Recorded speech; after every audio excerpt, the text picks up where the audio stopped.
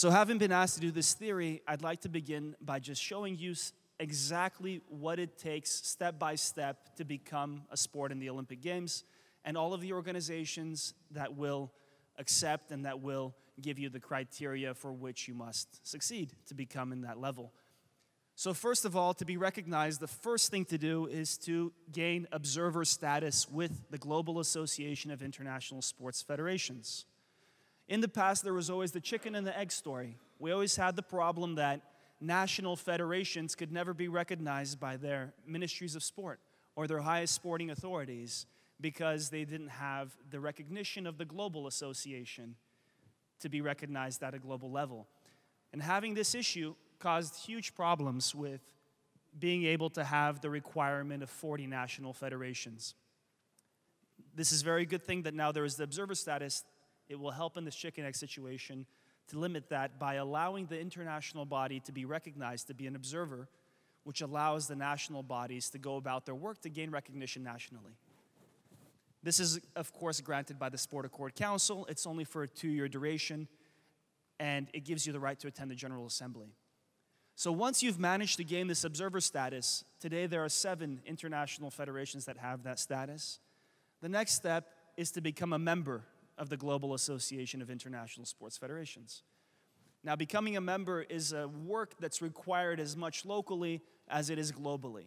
And the International Esports Federation has made the application in 2013 to be a member of Sport Accord, having achieved the majority of the requirements, except for that 40 national federations recognized by high sporting authority.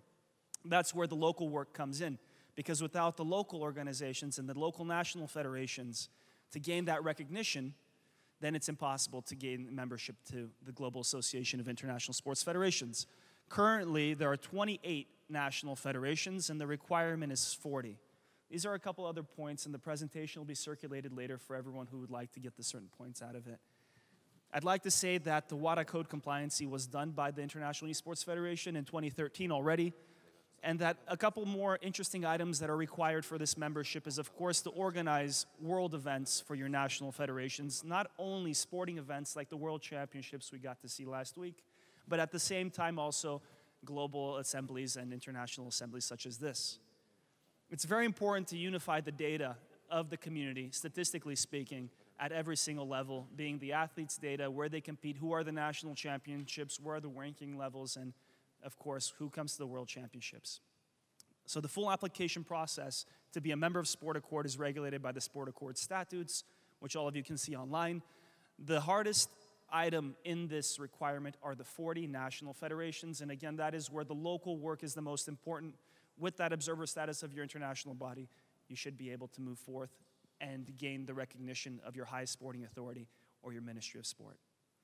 And the people who vote for the acceptance of esports inside Sport Accord as a member is the General Assembly, meaning the over 100 members of Sport Accord.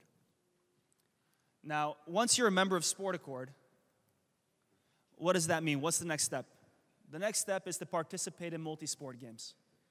And while you're participating in multi sport games, whether it be the Universiade, which is the, the uh, multi sport game of the universities, whether it be the World Games, whether it be the Commonwealth Games, or the Sport Accord World Mind Games, if some further additions will come forth, we will see or not in the future. It's important to participate in multi sport events for the next level and the next step.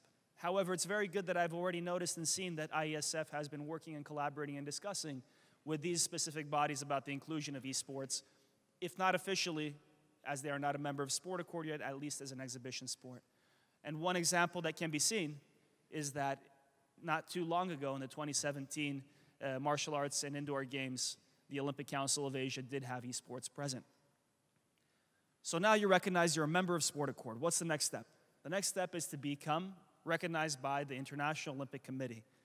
And how is this done? Well, it's very nice to, to say that just a couple days ago, there was a very important memorandum of understanding signed between the Global Association of International Sports Federations and the IOC. And one of the points out of all the different points of collaboration or understanding is streamlining the process of recognition, streamlining the membership process. What does this mean? This means that the work that you've already done or achieved so far to gain membership of Sport Accord doesn't need to be replicated. only the additional items and the additional missing components are required. What are those? So, the Olympic Charter regulates the recognition of international federations in Article 25. This just means that they can freely accept international federations. But out of the hardline results, or the, the last asking, they're asking for 10 additional national federations. And probably the hardest point out of all of them is that you need to be solidarily the only organization dealing with that sport for five years. Above that, the process is that the IOC Executive Board will have a reception from the sports department of the IOC. That is where the application is made. And after you've made the application, it's been given to the board, the board has accepted it, it moves on to the IOC session to vote for it, to vote for the acceptance of the International Federation, the recognition for the International Federation. So now you're an Olympic recognized organization. It means that you're a member of ERIFS. The next step, according to this keynote, it was how do we become a sport in the Olympic Games? So once you recognize, the fourth one is the application for the Olympic Games. And to do that officially, Tokyo has already selected their events that they will have. The only thing left for Tokyo is an exhibition event, so not an official event inside the structure of the Olympic Games. But the next one around the corner after the Buenos Aires Youth Olympic Games is the Lausanne Youth Olympic Games, or the Paris Olympic Games in 2024, or so on in Los Angeles. And the lucky thing is that with the passing of the Agenda 2020 that everyone has heard so much about, there's one specific point in the agenda that changes the whole structure of the Olympic Games, which is very important and makes it easier for esports to be inside. That point is point number 10. And point number 10 says that the program of the Olympic Games is moving from a sport based program to an event based program, meaning that you don't need to have your entire international federation included in the Olympic Games, but rather the local organizing committees have the ability, the responsibility, and the power to select additional events in their city. Now, as that was in the past, where only the IOC session could decide an entire sports inclusion, which you can imagine the difficulty, especially with the existing sports inside the program and their opposition towards it. Now, the fact that a local organizing committee has the ability to include esports into a game makes it a lot more streamlined. So, with the recognition on one side to protect you, and on the other side, having the ability of local organizing committees to recommend you as an additional event for the Olympic Games, the chances are very high. So, that's pretty much the, the paperwork around how to officially become recognized and how to officially apply to the Olympic Games. And today, this is a topic that is very hot and heated, and pretty much every single person around the planet involved in sports business, marketing, or politics is talking about esports. So, what is the benefit of being inside the Olympic Games? What is the benefit of being recognized? Well, the first thing that's very important is that the rivalry issue. It will protect IESF and will sustain IESF to be the world body as well as, more importantly, the national federations in each country to be the national federations recognized by the world body, thereby having the sole right and autonomy to regulate that sport nationally. Now, this means, of course, finance because having esports inside the Olympic Games means that through the qualification criteria for that Olympic event, there are going to be many championships from which the Ministry of Sport or the NOC or the highest sporting authority will have budget for supporting those teams to be able to travel, be able to compete, be able to train. At the same time, not only that, but there will be prize money giving to those athletes when they win, which is higher motivation for them to compete. And not to mention the exposure and the status of being around the Olympic movement, around the Olympic Games, it will really be able to sustain and push forward the motivation of the athletes themselves to one day get a medal. And I think you're in for a treat after this session because we do have an actual professional athlete on the panel who maybe will give you some more insight about what it would mean to them to be able to not be only a world champion or a club champion, but to also be an Olympic champion. So, around the world, as I said before, I just want to present three views before moving on to the, the panel. Just recently, three days ago, the view has been circulated that esports is an entirely different activity than regular sports, and as such, should be completely separate from the Olympic Games. There should be an own Olympic Games that does only esports. And this would be an article that was uh, circulated from Mr. Burns, who is uh, a big guy in sport. He's the president and founder of Helios Partners and many other roles around the world. And it has been voiced and has been copied by a lot of other uh, international heads for sport. On the exact other spectrum, you have Forbes discussing how esports will be in the 2024 Olympic Games already present and how they plan to monitor and how they plan to monetize the video feeds from esports themselves. So in summary, in summary, this is the topic today. And this is exactly why it's very important to unify together as an international body with national bodies to support each other, to grow, to get recognition, and to apply for all of the following aspects. Because in the last Olympic summit that took place not too long ago, last week, the esports was one of the main items that was discussed. It's a topic that's today. So, in summary, it's important to say that IESF has already undertaken a lot of different work and a lot of steps and is doing this forward to have recognition and be included in all the various, uh, various high events. It's vitally important that the national bodies, with the existence of now this observer status, armed with that shield and with that, that task, reach out and gain their recognition from their national sporting authority or from the uh, Ministry of Sport.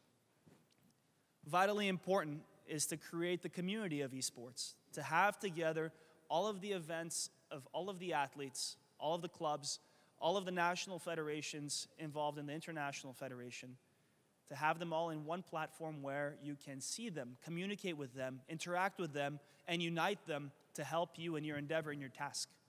Because the truth is that the majority of leaders in ministries of sports or various high organizations don't see esports, don't understand esports, don't understand what it means to play a video game, is how they perceive it.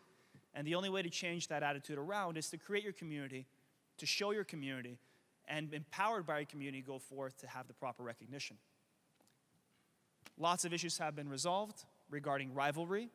And the last most important part, in my opinion, for this process to go forth is the collaboration and the relationship with the IP holders. So I have two more minutes on the clock. If there are any questions, there we go. If there are any questions, I'm happy to answer them now. If not, the panel I think will begin after, but that was the presentation. I hope it was helpful to understand a little more about the process of becoming an Olympic sport.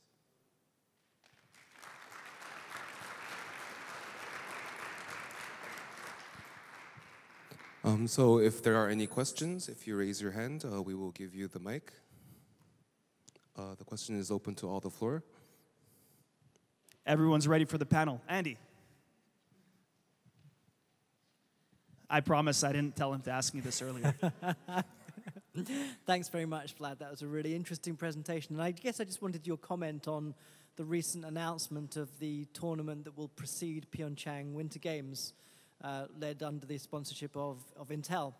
And uh, I, I, saw the press release from the IOC about this, which, which has Timo Lumme at the heart of it. So broadcasting within the IOC is at the heart of this. So I wonder what your thoughts are on it being a kind of tournament that just precedes the games and whether you would imagine in future games it would, it would be more aligned with the program itself. Thank you, Andy. Uh, unfortunately, I was on an airplane in an airport for the past 40 hours, being delayed on the way here. But I think that one of, one of the most important items you just brought up, and that is the sponsors and the partners of the Olympic movement, and actually, I think that you brought up Intel, but another stronger partner, in my opinion, for pushing forth the agenda of ISF and esports inclusion in the games is actually Alibaba. Because Alibaba Cloud is now a top sponsor of the Olympic movement. And as we know, IESF has signed an agreement with Ali Sport. So the way the connection is made, you brought up correctly, the way that you push forward your agenda is with the local organizing committees, which, of course, being in Korea, it's a great relationship that they have already formed, with the sponsors and partners of the IOC that can push that pressure forward as well. And of course, if you don't have the games, if you don't have the right from the IP holders, then there's almost nothing to play. So it's a very good point, and, and I truly believe and, and hope that esports can become a member of the Olympic family, will become a member of the Olympic family, and that they will be included in the Olympic Games at the beginning maybe as an exhibition sport, but further on in the program itself. Thank you very much.